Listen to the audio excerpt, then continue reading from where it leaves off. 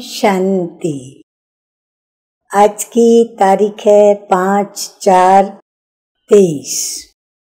और आज की ज्ञान मुरली का शीर्षक है, मीठे मीठे बाप दादा, सदैव हम बच्चों का। उत्साह और उमंग और हिम्मत बढ़ाते रहते हैं तो आज भी मीठे मीठे बाप दादा ने कुछ ऐसे हिम्मत और उमंग उत्साह बढ़ाने वाले शिक्षाप्रद महावाक्य। हम बच्चों के प्रति उच्चारण किए हैं। तो आइए सुनते हैं, मीठे मीठे बाप दादा क्या कहते हैं?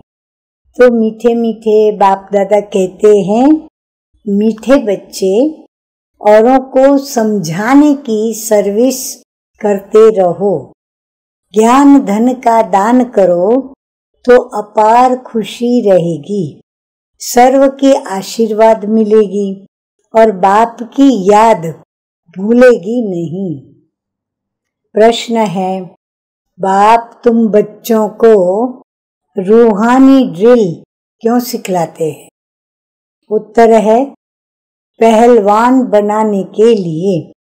जितना तुम बाप की याद में रहते हो पढ़ाई पर ध्यान देते हो, उतनी तुम्हारे में ताकत आती जाती है और इस ही बल से तुम माया पर विजय प्राप्त कर लेते हो। तुम कोई स्थूल हथियार आदि नहीं चलाते। स्वदर्शन चक्र से माया का गला काटते हो तो ये है अहिंसक युद्ध। गीत बजा है। बचपन के दिन भुला न देना। आज हंसे, कल रुला न देना। धारणा के लिए मुख्य सार के दो मधुर महावाक्य। नंबर एक, जीवन की लंबी मुसाफरी में थकना नहीं है। माता पिता से कभी भी मुँह नहीं मोड़ना है। और संग तोड़। एक बाप पर पूरा बलिहार जाना है। नंबर दो, स्वीट होम में जाने के पहले विकर्मा जीत ज़रूर बनना है। श्रीमत पर बुद्धि की यात्रा करते रहना है। वरदान सतगुरु बाप दादा का कि साथ रहेंगे साथ जिएँगे। इस वायदे की स्मृति द्वारा कंबाइंड रहने वाले सहज योगी भव। मीठे मीठे बाप दादा कहते हैं कि आप बच्चों का वायदा है कि साथ रहेंगे, साथ जिएँगे, साथ चलेंगे। तो इस वायदे को स्मृति में रख बाप और आप। कंबाइंड रूप में रहो तो इस स्वरूप को ही सहज योगी कहा जाता है।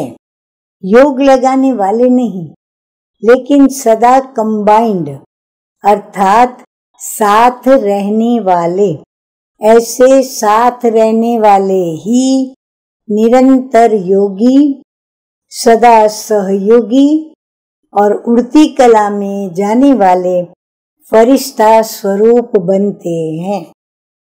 स्लोगन है, क्वेश्चन मार्क का टेढ़ा रास्ता लेने के बजाय, कल्याण की बिंदी लगाना ही कल्याणकारी बनना है। अच्छा मीठे मीठे, सिकिलदे बच्चों प्रति मात पिता बाप दादा का याद प्यार और गुड मॉर्निंग। रूहानी बाप की रूहानी बच्चों को नमस्ते। हम रूहानी बच्चों की रूहानी बाप दादा को याद प्यार, गुड मॉर्निंग और नमस्ते नमस्ते। ओम शांति।